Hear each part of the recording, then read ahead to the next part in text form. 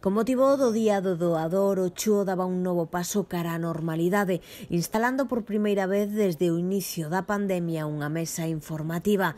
A de Alcer era importante transmitir unha mensaxe.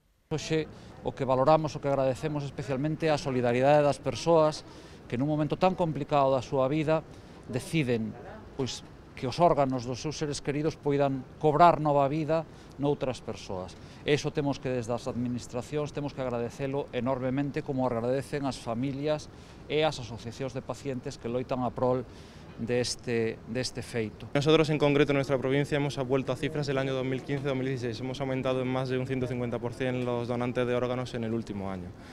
Eh, es un trabajo multidisciplinar en el que participan múltiples profesionales del hospital, tanto del hospital trasplantador como somos nosotros, como hospitales que tienen los, los receptores esperando para continuar con su vida, para salvar su vida y para mejorar mucho su calidad de vida.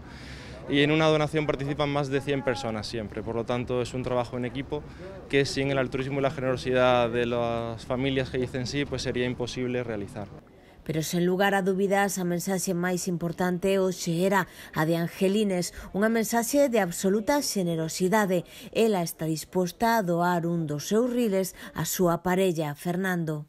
Cando chegamos á consulta, e unha vez que nos dixo, pois mira, isto xa naquel momento tiña unha crisis, vai pasar, eh, ten que ir ao diálisis ou eso, eu preguntei á doutora, unha doutora encantadora, non sei Pérez como... Melón. Pérez Melón se se podía donar un riñón, ela díxome que sí, que se podía facer as pruebas e todo, estamos facendo as pruebas, non? E eu despois informeime pois, a través de internet, nas páginas de Alcer e todo, que además se tú non eres compatible con il, pois eh, hai posibilidade de tú donarlo a outro e outro que cho don, yo don el, Entonces eu non que teño moito que teño moito medo ás operacións, pero non o pensei porque eu quero que el teña a mellor vida posible.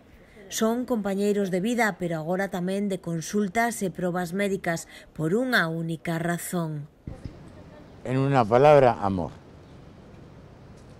Te lo defino así, es lo, que, lo más grande que, que puede suceder en la vida. Es lo mejor.